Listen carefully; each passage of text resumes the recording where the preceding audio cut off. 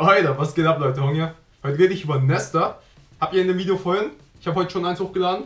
Und zwar war ich in einem Chillast-Nest. Hab dann genug Bonbons gesammelt und ein Chelterra mir entwickelt. War sogar Glücks, 96%. Checkt das Video mal ab. Aber Niantic hat ja eigentlich angekündigt, mit Gen 4, dass die Nester verändert werden. Und jetzt dachte man eigentlich, Nester sind tot. Zumindest so, wie sie halt bisher existiert haben. Aber, wie gesagt, ich war in dem Nest. Und an sich, das Nest-Pokémon war stark vertreten. War immer noch so wie davor. Nur, eine Kleinigkeit, die sich geändert hat, die sich schon eine Weile geändert hat. Das haben wir eigentlich an dem Abend, an dem Hype-Abend im Livestream entdeckt, bemerkt. Wo wir dachten, Gen 4 kommt.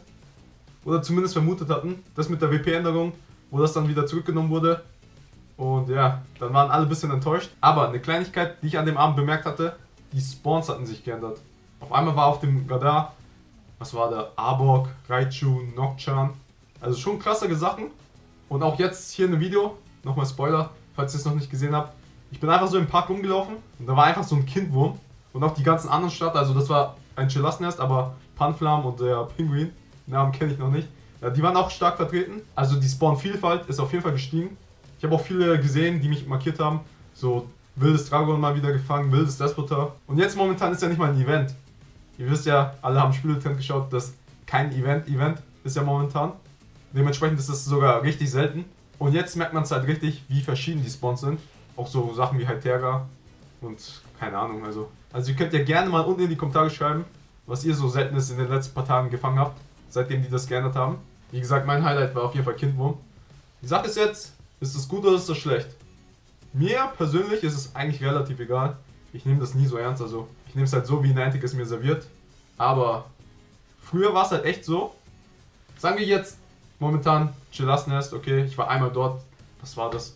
Nicht mal ganz zwei Stunden. Hab 200, 300 Bonbons gemacht. Und von den anderen zwei nebenbei auch ein paar gefangen. 70, 80 Bonbons jetzt von denen. Und wenn man das jetzt zu früher vergleicht, ich habe Glurak, das war mein letzter Gen 1 Pokédex-Eintrag. Ich habe den erst im Dezember gemacht. Hongrex Folge kommt noch drauf. Das war das erste große Glumanda-Nest am Königsplatz. Und ja, bis Dezember habe ich gebraucht, um überhaupt Glumanda, also Glurak zu entwickeln, genug Bonbons von Glumanda zu bekommen.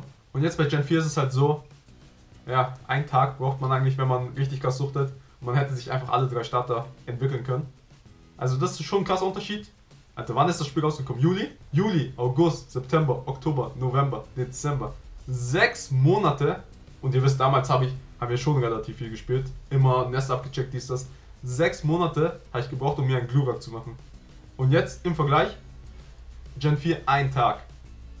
Na klar, es ist cool, wenn man jetzt rumläuft und dann gibt es geile Spawns, bisschen Action hier, dies, das.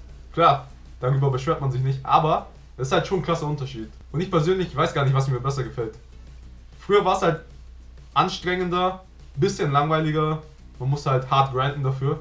Und jetzt kriegt man schon sozusagen reingeschoben. Aber reingeschoben heißt ja nicht unbedingt schlechter, meiner Meinung nach. Ich meine, wem wird nicht gerne etwas auf dem Silbertablett serviert? Schmeckt trotzdem genauso gut. Sogar manchmal für manche sogar besser. Aber ihr könnt ja eure Meinung unten in die Kommentare schreiben. Wie findet ihr es besser?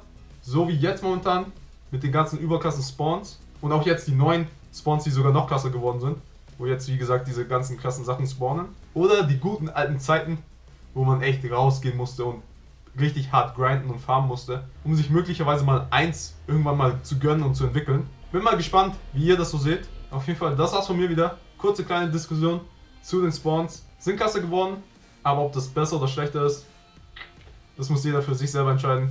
Gerne unten in die Kommentare immer liken, subscriben, kommentieren. Checkt die anderen ab, folgt mir auf Instagram, Facebook, Twitter. Checkt den Shop ab und vergesst nicht, Pokémon ist serious business.